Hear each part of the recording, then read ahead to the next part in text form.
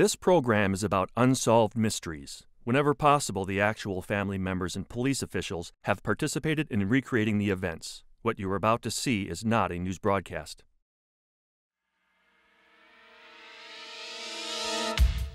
Tonight, on a special edition of Unsolved Mysteries, meet Todd Mueller, an accused conman with a twisted sense of humor. His escapades have bewildered and frustrated police investigators in Honolulu and Chicago.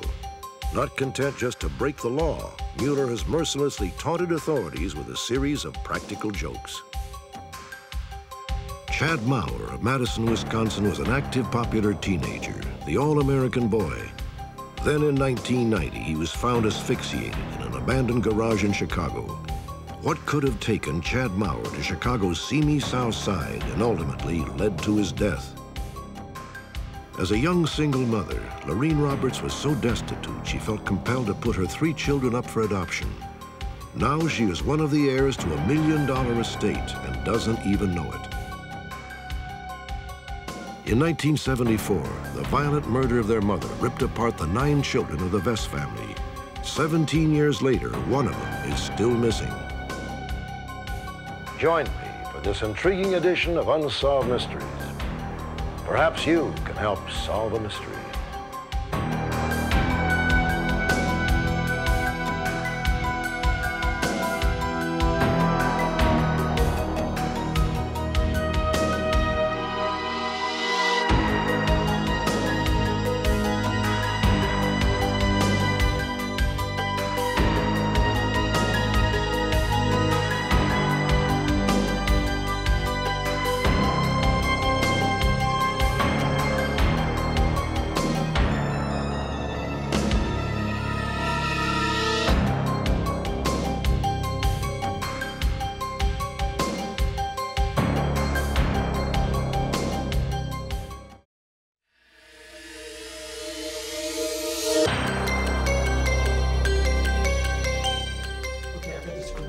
Great bike I want to show you. It's just, it's perfect for what you're looking for. 19 year old Chad Mauer worked in a bike shop in the Midwest college town of Madison, Wisconsin. He was a typical boy next door, a popular, well rounded athlete who hoped to save up enough money to attend college in Colorado. So, Chad, how are things at the bike shop today? oh, it's packed. You wouldn't believe it. Oh, really? Have you sold anything yet? Yeah, I sold my first bike. Oh, On the afternoon great. of May 19, 1990, Chad returned home to grab a quick lunch.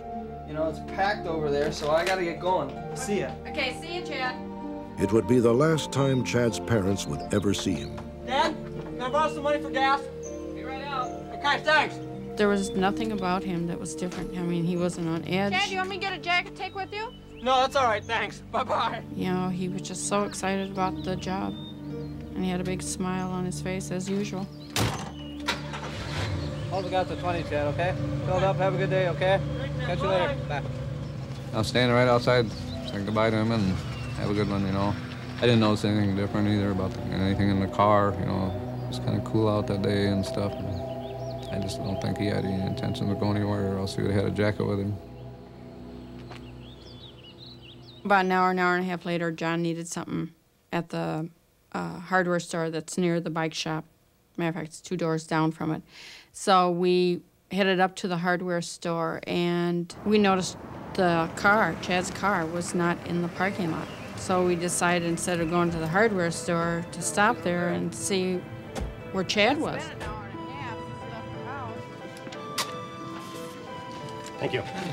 George, you know where Chad is. His car's not out front. Well, he better be here. He may have a customer in the back. I knew there was something wrong, but I just couldn't imagine, you know, so we just thought Chad will show up.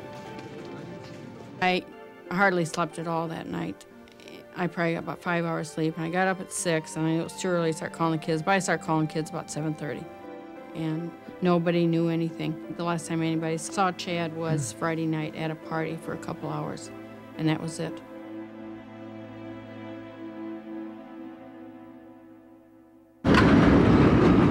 South side of Chicago is one of the roughest neighborhoods in the country. It is just a three hour drive from Chad's home in Madison, Wisconsin.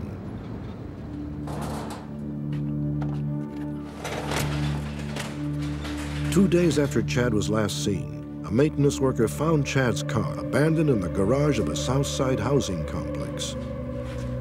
Oh my God. Inside the car was Chad Mauer, dead carbon monoxide poisoning.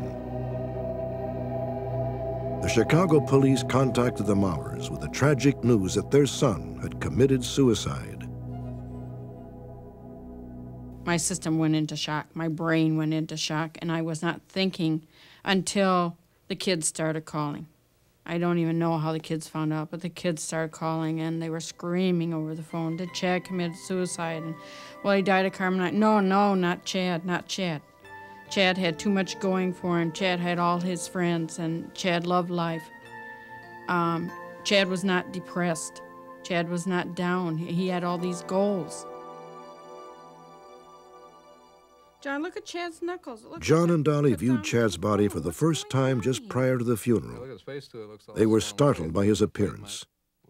While the Chicago police had said there was no evidence of foul play, the knuckles on both hands had been skinned to the bone, and there were bruises on his face. Is there anything else we should be aware of here? Well, we did receive his clothing, and that was soiled. Soiled? Yes, would you like to see it? Most definitely. Moments later, Chad's father got his first look at the clothes Chad was wearing when he died. Oh no, Chad. Front and oh, back. No, what happened? What happened? He could not understand why there were blood stains on the t-shirt. Now convinced that Chad's death was not a suicide, the Mauers contacted the local authorities. I'll show you the uh, crime scene photographs that were sent up uh, by the Chicago authorities. Together with Detective David Bongiovanni, they studied the police report filed in Chicago. John and Dolly immediately noticed yet another suspicious clue. Surrounding Chad in the car. Speaking of items, what the heck is that next to him there? The jacket? Yeah. Chad didn't take a jacket with him, and he didn't own a jacket like that. And you're positive of that? Yes, I'm positive. The parents noted the jacket on the front seat was not a jacket they knew Chad to own. It would be interesting to know the size of the jacket, if it's consistent with uh, Chad's size, or it may give us an idea of the basic build of somebody that may have been in the car with him. Um, may have given us an idea of where, in fact, the jacket was purchased, which would give us uh, possibly a location, assuming it's a real, not a real common brand. Um, but the parents had pointed out that that, that article in the photograph, and uh, when I checked with uh, Chicago, um, uh, they had noted the jacket as well, um, but we're not sure um, um, where where the jacket was. They were going to check into that. The best thing I can determine was that the jacket remained in the car, and before the car was towed, somebody uh, took the jacket from the vehicle because we couldn't secure it with the window being locked out. So now I wish we had the jacket, but we have no jacket. The autopsy report also suggested that Chad had not taken his own life. The level of carbon monoxide in his body was 74%, a figure much higher than usually found in a suicide. It's my understanding that levels where they're conscious at the time they succumb to carbon monoxide is about 50 to 60 percent. Levels that get up to about 74 to 80 percent are more consistent with a person being unconscious or sleeping at the time they succumb to carbon monoxide poisoning. And that's because they have, people naturally have a tendency to breathe deeper and more methodically when they're sleeping than, than possibly when they're awake. The cause of Chad's death was changed from suicide to undetermined. Authorities began a full-blown investigation. Do you have an opinion as to what happened that day? The bike shop owner was quoted in a local newspaper regarding Chad's case. And something or someone spooked him. Nine days later, the shop was vandalized. No other stores in the area were hit. It now appeared that someone was sending a message. The following is a message from the Madison Area Crime Stoppers. On October 22, 1990, Chad's story was aired on a local Crime Stoppers program in Madison, and a disturbing scenario emerged.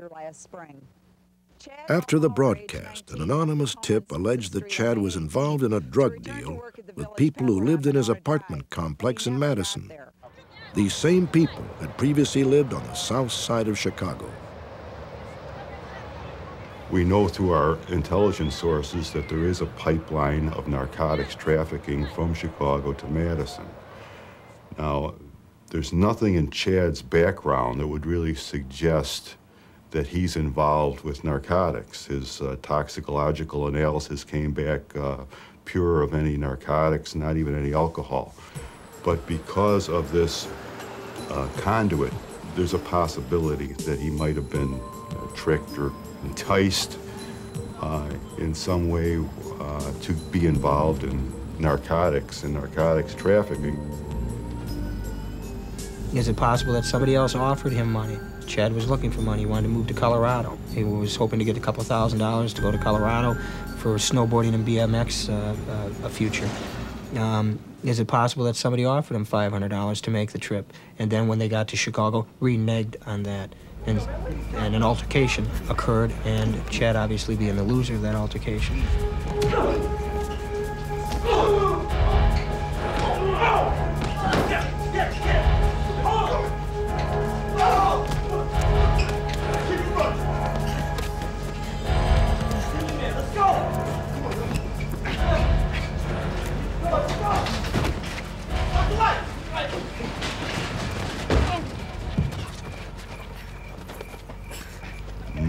All of our homicides in Chicago have a common denominator of drugs in it somewhere, whether they're selling it, whether they're fighting over the territory, whether they're using it. Uh, drug seems to come up in a great majority of our cases. So this is also a reason that we're inclined to lean toward this drug angle a little bit more because we see it so often here. We feel that there are people uh, probably in the Madison area that probably know more than they're coming forward with. And I think probably that's who we're trying to reach out to now because we're not going to know what happened inside that garage unless we know the circumstances surrounding how he got there. And that's what we're really after, I think, at this point. All we know in Chad's case is Chad is dead and he ended up in Chicago. That's all we know in this case and we know he was beaten up. But why was he beaten up? How did he end up in Chicago? There are so many questions, and every day we wake up and we think a different thing that could have happened to Chad. I know it won't bring Chad back, but we cannot rest and we cannot put Chad to rest until we really have the answers to this case.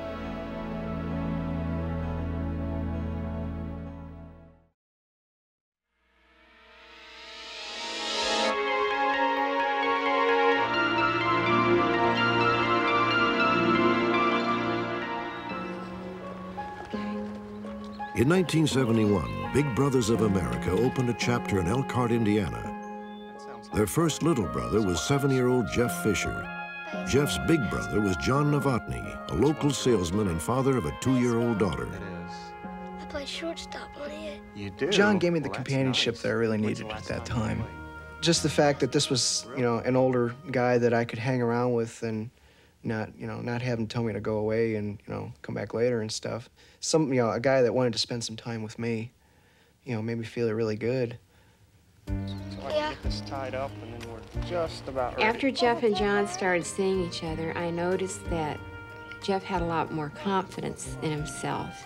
And he was very proud of the fact that he had a big brother. And, and he would tell the other kids, well, well, John and I are going to go do this, or my big brother and I are going to go do this. He was very proud of the fact that, that he had a, a, a man in his life. Think it's ready to light? Yeah. Okay. A year and a half later, John and his family moved away. Although Jeff never saw John again, he never forgot the warmth and kindness that changed his life. He just introduced me to a world that I had never seen before. And if I finally see him again, I just want to thank him. He, he made a lasting impression. It's been 20 years, and he's still a really vivid part of my memory. Thanks to our viewers, Jeff Fisher's search for his big brother ended the night of our broadcast. Nine days later, Jeff and his mother traveled to John Novotny's home in Tacoma, Washington for an emotional reunion. There they are. there they are. Hi, guys. Yes, nice to meet you. hey, you look just like your picture, man. great, great. It's unbelievable. I was absolutely stunned. I had absolutely no idea that Jeff was looking for me. And then as the show aired, uh, people from Elkhart and from Michigan started calling me on the phone, telling me that I was on television and, and that Jeff Fisher was looking for me. And we must have got 35 calls that night and at least that many the next night. You know, I've been wanting to say thanks to this guy for 18 years, and you know, whatever it took to uh, come out and say that, you know, I was willing to do. This is when we were down in Lexington, Kentucky for a John Mellencamp show. And, uh, when I first started being a big brother, the question was, would I really have enough time to do it right? And then 20 years later to find out that I really did make a difference, I mean, it brings the whole thing to reality.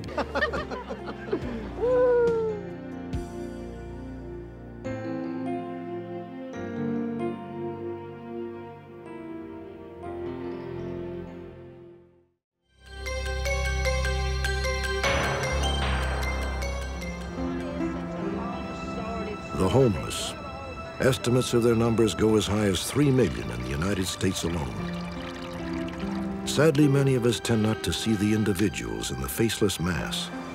We forget that for each man, woman, and child on the streets, there's an untold story. There is no apartment.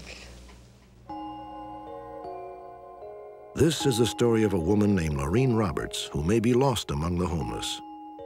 Her family has not seen or heard from her in more than 30 years. Laureen has no way of knowing that she is one of the heirs to a million dollar estate. Laureen grew up in Dripping Springs, Texas. She was on the high school basketball team and a member of the pep club. But at 16, Laureen inexplicably dropped out of school. Her family believes this may have been the beginning of a slow descent into mental illness. Laureen was very quiet.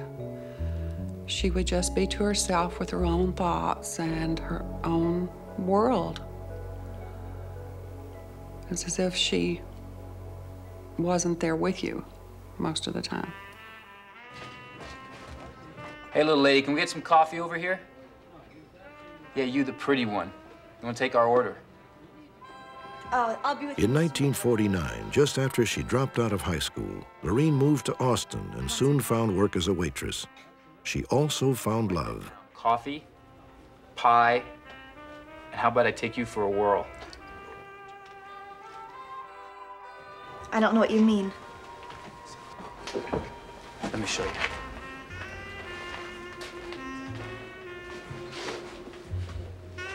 Just 10 days after they met, Laureen and the young serviceman were married.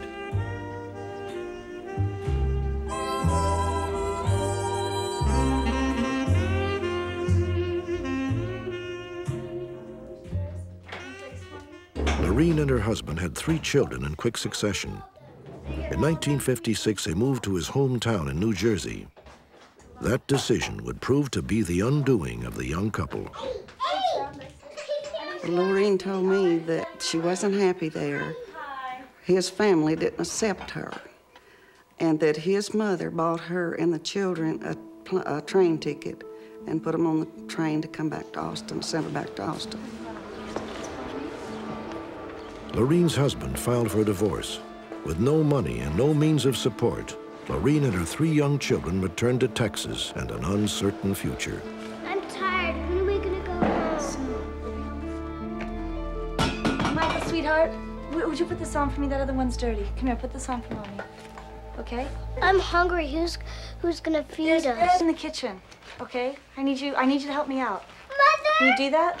But who's gonna take care of us? You. I need you to be the man while I'm gone. Is that okay? Can you do that? Will you be in charge for mommy? Will you do that for me? All right. I gotta go now. I gotta go. Will you watch after them for me? Okay? Okay. Okay. Bye. Lorraine tried. She worked and she tried to handle, you know, her situations. And she loved her children very much. But that was just something she couldn't handle, and she seen she couldn't handle it. And she tried to get help from her husband, but no help. She got no help. she decided the best thing to do was to just give them up and let them be adopted out where they would be taken care of. Come along. Now, just get into the car. Now don't, now don't fuss. I will get, we'll get you some food. Now don't fuss. I want you to sit there quietly. Yes. After the children were adopted, Lorraine's emotional state grew increasingly fragile. She came to me and uh, she, she admitted that she was sick to me and said she needed help, said she needed a doctor.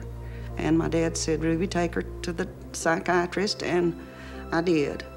And he gave her admit admittance to the state hospital. So I took her out there, and she cried and everything when she hugged my neck and loved me and, and everything. And it was so hard to see, to have to leave her there.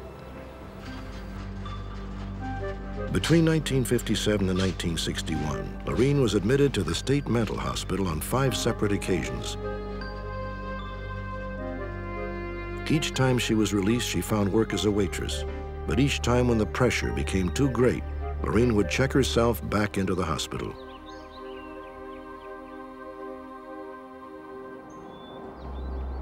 In 1959, on one of her furloughs from the state hospital, Lorraine showed up at Ruby's house unannounced. Marie! Honey, it's so good to see you. Get up here, let me give you a big old hug. Oh. How are you doing? Oh, I'm just fine, Ruby. Well, you look thin. Can I fix you something to eat? Oh, no, no, no, nothing. I, I can only stay a few minutes. Well, then sit down here and tell me what's been going on. Well, I'm getting married. Married? Uh-huh. That's great. Who to? College professor. A college professor. Well, that's great. I came to show you my ring. Well, that's mighty pretty, honey. Where'd you meet a college professor? It's pretty, isn't it? Lorraine, Mhm. where'd you meet a college professor? The college. At that time, I was just hoping the best for her. So I didn't question too much or anything. I just hoped the best, you know. And that's the last time I've saw Lorraine, and I haven't heard from her or anything since. Well, I gotta get going. Well, can I take you somewhere? Oh, no, no, I came in a cab and I'm gonna leave in a cab. Take care now. Okay, you too. Two weeks later, Ruby received a bill for Lorraine's engagement ring. Lorraine had bought the ring herself and failed to make the payments.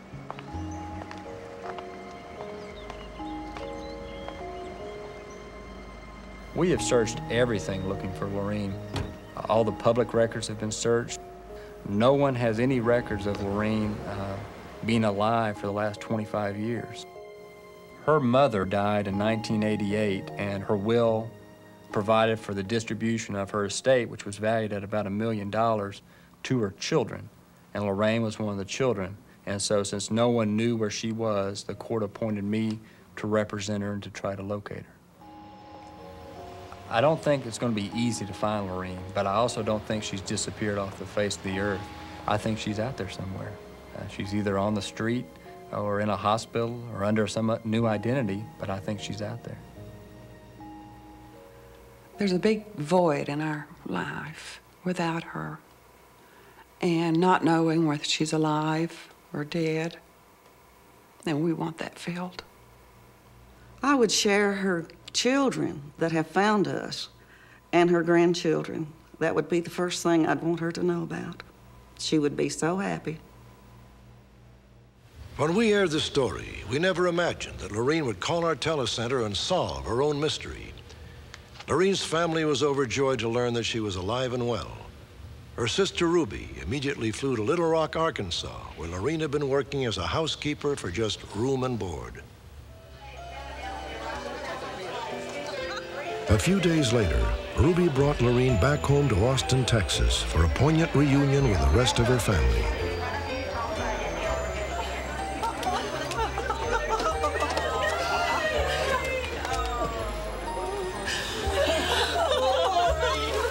It was unbelievable.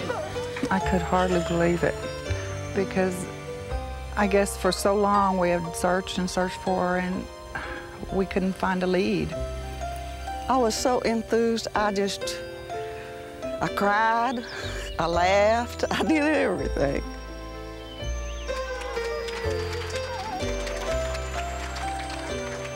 Yes, it's nice to be back. They're real nice. They've always been. They're original people that said that are very darling people. After we filmed this reunion, Lorene remained in Austin for three months. She received her $105,000 inheritance and has since returned to her home in Arkansas. This is the wonderful person we looked for for 30 years. I've never seen that. We're going to try to be happy and just do all the things we can to be together and love each other and and include her children and her grandchildren. And which I think will be real good for Lorraine and all of us.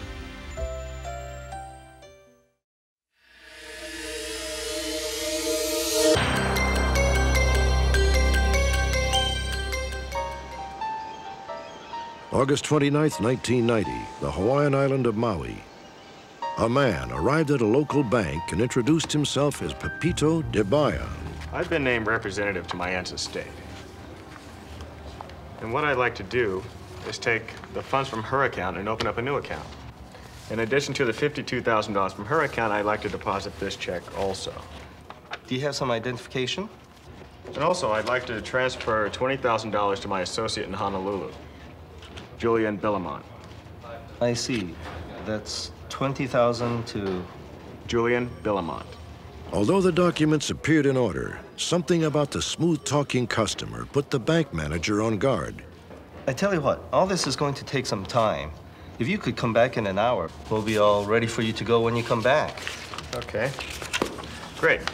And I guess I'll see you in around an hour. Yes, thank you, Okay. Mr. Dibayan. Thank you. So long. An hour later, Pepito de Bayan returned as scheduled. Hi.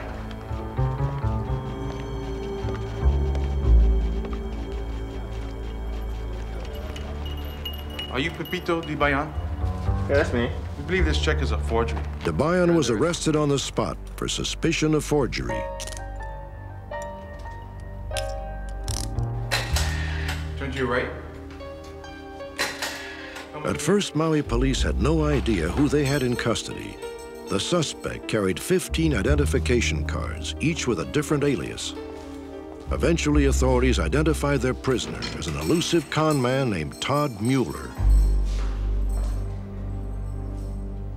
Todd Mueller is not your run-of-the-mill criminal. He specializes in forging court documents which give him free rein to plunder the estates of the recently deceased. His many escapades have confused and frustrated authorities, often leaving them shaking their heads in disbelief. As it turns out, Todd Mueller is something of a practical joker who delights in taunting those who are trying to keep him behind bars. December 3rd, 1991, Honolulu, Hawaii. My name is Clara. Hi, Clara. How are you? I'm Arthur Iona. Three months after his arrest in Maui, Todd Mueller was out on bail and back on the scam, calling himself Arthur Iona. What may I do for you today? Well, Clara, I've been named personal representative to the estate of George McLaughlin. And what I'd like to do is take the funds from this account and open a checking account in my name. May I see some ID? Absolutely. We think Todd Mueller looked in a newspaper in the obituary section. From there, he would get names of uh, deceased persons, their accounts being in probate court. He would then go over to the copying machines located right in circuit court, take these photocopies home, and he would make up letters of administration naming him the trustee for the account.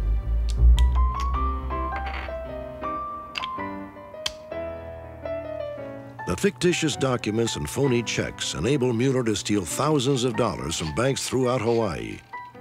He had created a lucrative cottage industry right in his own apartment, but his work was sometimes less than perfect. One particular check, the bank listed on the check was a Bank of Iowa, Boise, Iowa. There is no Boise, Iowa. Instead, it should be Boise, Idaho. And we thought that was pretty hilarious with him, you know, just making up any name. I guess he didn't realize it was Boise, Idaho. Todd Mueller was not only a bit sloppy, he was greedy. During the next three days, he returned to the bank in Honolulu and withdrew more than $31,000, arousing the suspicions of yet another bank manager. She called me to tell me that she thought these probate documents were false. She described the individual to me. I immediately thought Todd Mueller. Mr. Mueller? Todd Mueller, Detective Nobriga. Yeah. Finally me. Hi. You're under arrest for forgery? Chance be on your back? After the arrest, Detective Nobriga proceeded to an address given him by Mueller. Once he determined that Mueller did live there, Nobriga left to obtain a search warrant. This is it. Meanwhile, Todd Mueller posted bail and was released. Todd Mueller calls me in my office. He invites me over to his house. He, he tells me, you don't have to make any search warrants. Just come over to my house and I'll let you look around. Hello?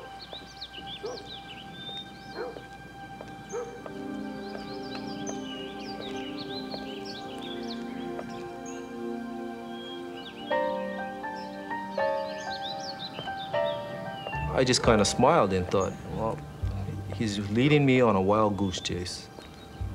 I walked over and checked with some of the neighbors, and they had told me just about an hour before I arrived there, there was a flurry of activity where guys were moving stuff out of the house, throwing it onto a truck, and they took off and left. One week later, at the Oahu Correctional Facility, a former cellmate of Todd Mueller's, Roy Hartsock, received a welcome surprise. Pack your stuff up, man. Today's your lucky day, being paroled. What? Be paroled. Pack your stuff up. Nah, I, I don't get paroled until February. A court order had been issued for Hartsock's immediate release. Roy Hartsock left the island for parts unknown. Three weeks later, authorities discovered that Hartsock's release documents had been forged. Todd Mueller had apparently struck again.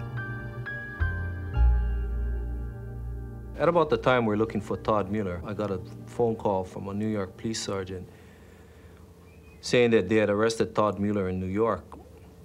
When I tried to call this New York sergeant back, we learned that there was no such person, no such department there in New York. And where was Todd Mueller? Living it up at an exclusive hotel in Chicago, Illinois. Hi, it's 1720.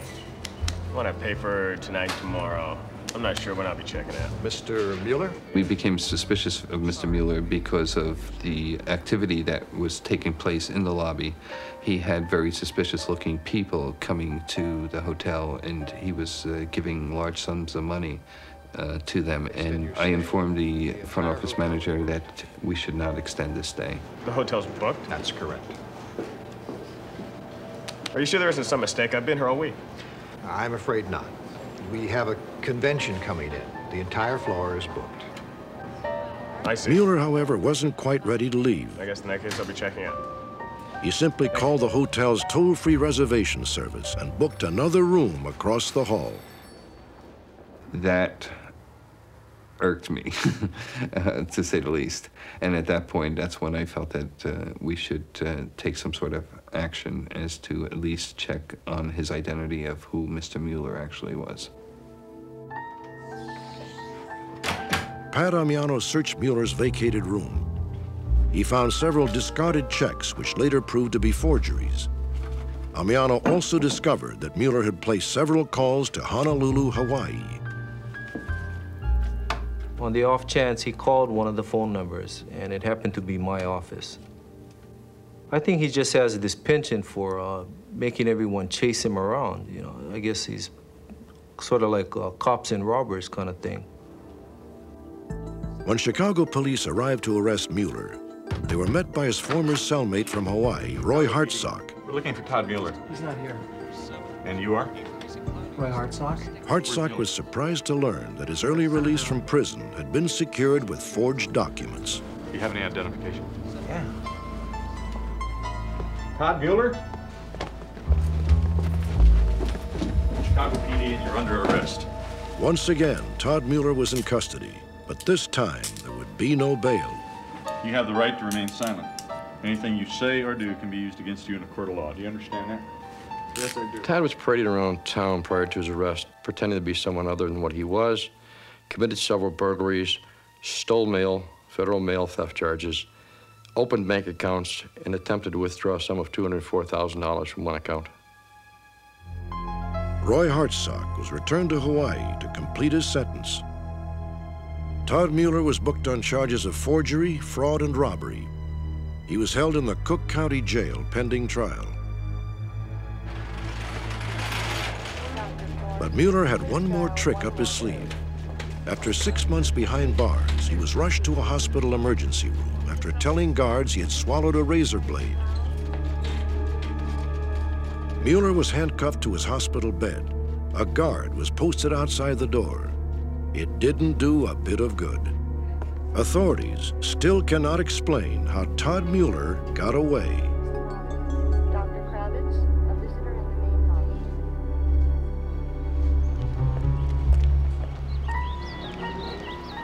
Since Todd Mueller escaped, people would call me just to say that he wanted to turn himself in to me.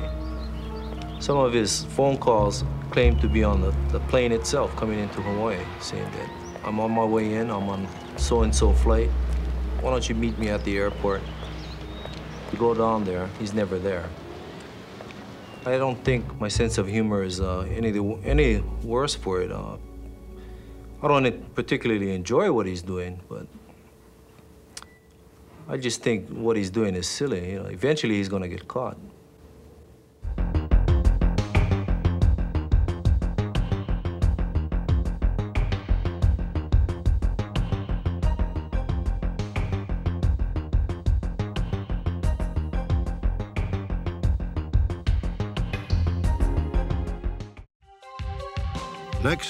Woman's poignant search for her brothers and sisters torn apart by tragedy.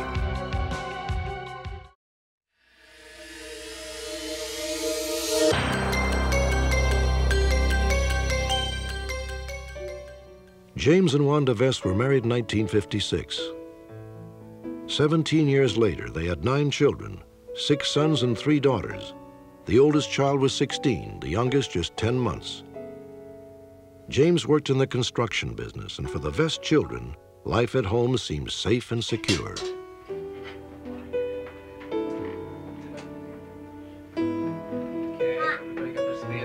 Okay. Folks. Do your elbows off the table. Bless us, O Lord. We would eat dinner every night together at the table. My mother would have everything done before my father got off work.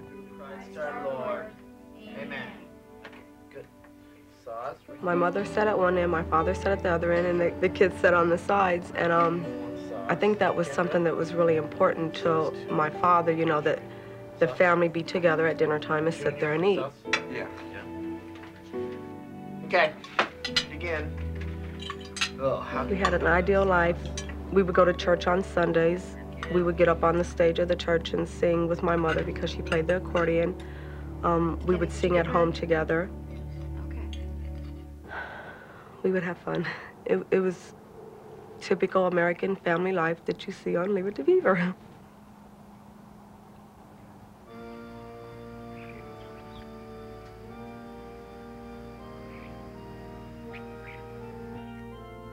The Lord is my shepherd, I shall not want.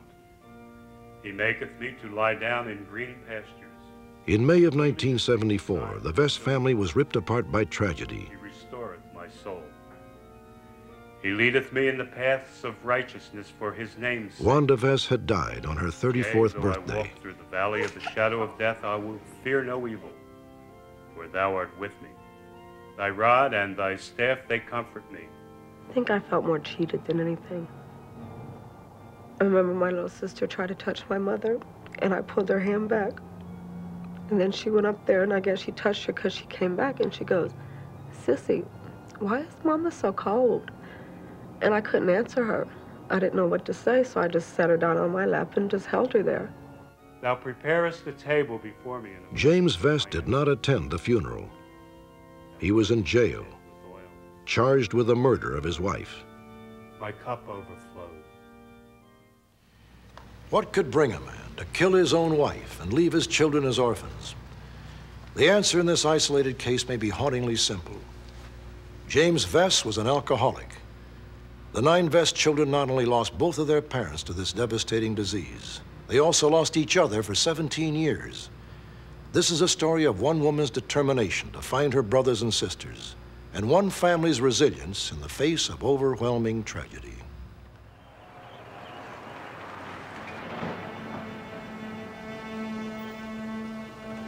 By 1973, years of drinking binges had steadily eroded James and Wanda Vess's marriage. James was often too drunk to work. He also became increasingly violent towards his wife.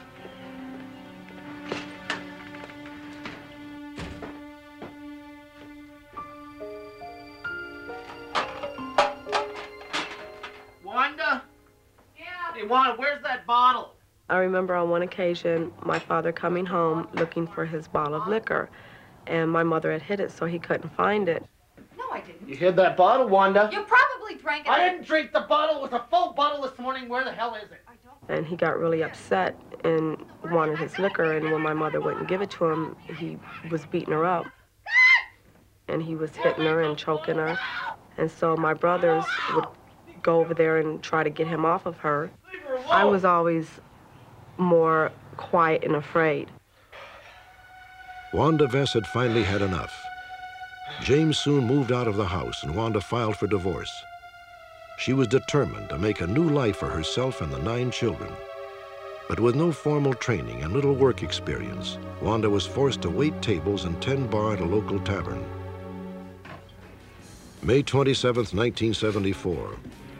At around 1 a.m., James Vess wandered into the tavern where his wife worked. Hey, It was Wanda's 34th birthday. Oh, I just came to buy you a drink for your birthday, I babe. don't want anything from you. Get on, we do this every year. Get out. According to witnesses, James had been drinking heavily. Okay.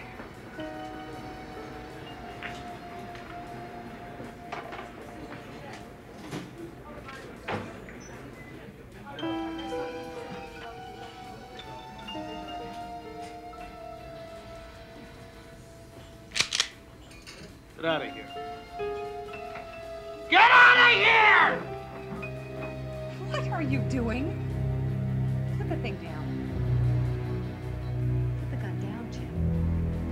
It down. Put the gun down!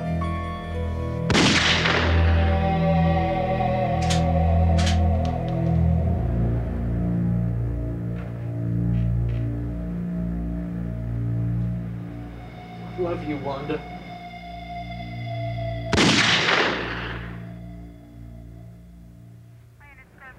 Approximately an hour later, James Vess was arrested at a nearby tavern. Minutes after killing Wanda, James had swaggered into the bar and openly boasted that he had just shot his wife. He said he needed a drink. Vess later pled guilty to first-degree murder and was sentenced to life in prison where he died in 1983. In one senseless and violent moment, James Vess had shattered his entire family.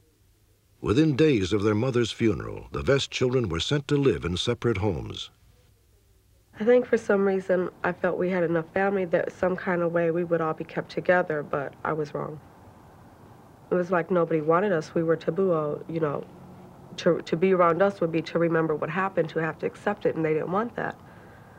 So to me, we were punished for what my father did because we weren't even allowed to have each other.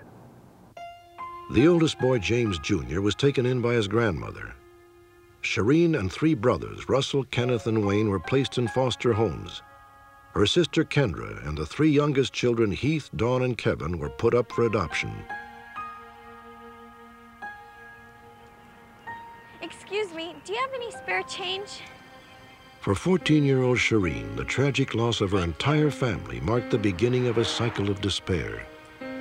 Just three months after her mother was murdered, Shireen ran away from her foster home and took to the streets. In the very beginning, sometimes I would sleep in the apartment building hallways, and a couple times I slept outside. It was cold, I was scared. I had a backpack that had some clothes in it, I used that for a pillow. You lay there and halfway sleep and hope that no one comes around.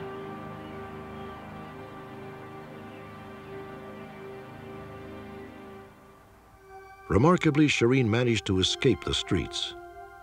Eventually, she enrolled in business school and later got a job as an office manager. Today, Shireen lives in San Diego, California, with her husband and two daughters. Four years ago, with the love and encouragement of her new family, Shireen began searching for her missing brothers and sisters whom she had not seen in 11 years. Incredibly, it took Shireen less than two months to find four of her brothers. Two years later, she was reunited with her oldest sister, and just last Christmas, Shireen finally made contact with her youngest sister and brother. But one of the Vest children still remains unaccounted for. Shireen's brother Heath, who was six years old when they were separated. I actually had a dream one night that there was all nine of us in a room, and I was actually going, Jimmy, uh, counting them all down the line, and I, I couldn't believe it. It's like something that you want, but it's just out of reach. You'll never get it. But I believe enough, and I that because I will not take no for an answer. Is I just know that I'm going to get them all together. The night of our broadcast, Shireen's dream of finding her brother Heath came true when he called our telecenter.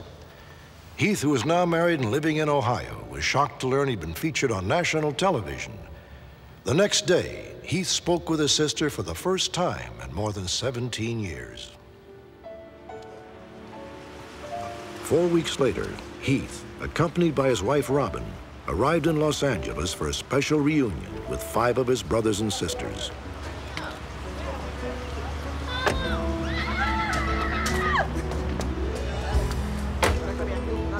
I was, I was really excited. I just wanted to get out of the car. You know, I was thinking, you know, who am I gonna hug first, you know? And I didn't want anybody to start bawling or anything, you know. I just wanted to get out and hug everybody at once, basically.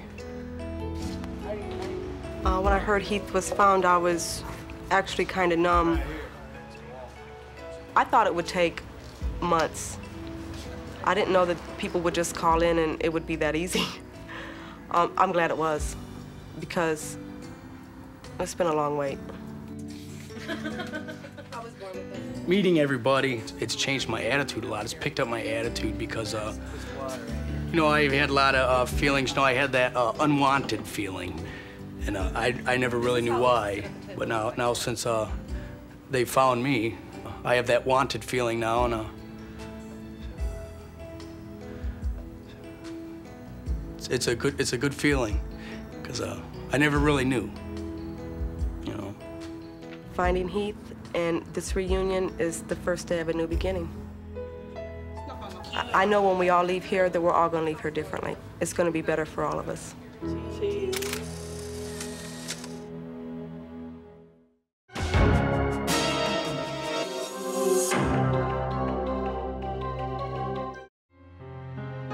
On our next Unsolved Mysteries, the final appeal of Larry Race. In 1982, Race took his wife for a moonlight boat ride on Lake Superior. The next morning, Debbie Race's lifeless body washed ashore. Larry Race was convicted of murder and sent to prison. To this day, Race maintains his innocence, and the family of his dead wife believes he is telling the truth. At the outbreak of World War II, a young woman of the Ojibwe Indian Nation was banished by her father when she joined the Royal Canadian Air Force.